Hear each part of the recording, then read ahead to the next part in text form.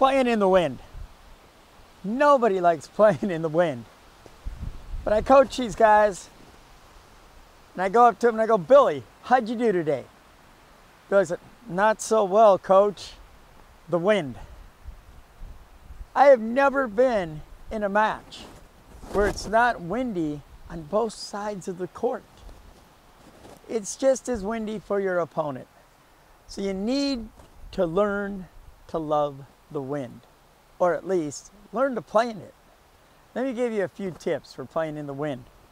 Number one, use the wind to your advantage.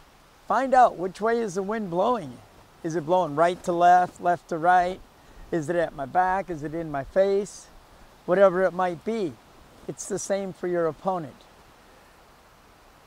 Couple tips. Number one, shorten your backswing. That ball may not be there when you go to hit it.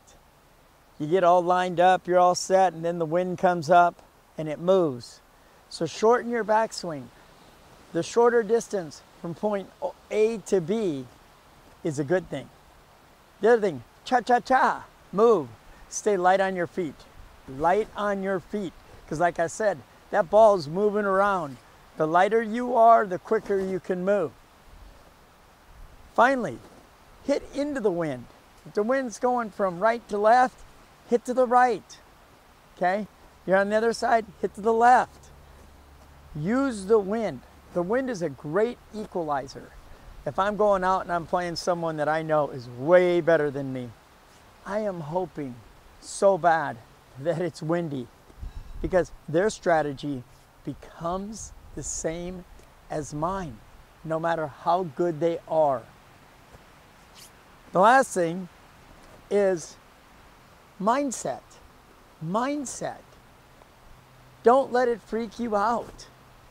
Keep the ball in play. Keep that ball in play. When you're serving, the player or the team that gets a higher percentage of serves in usually is going to win in the wind. Last but not least, learn to love the wind.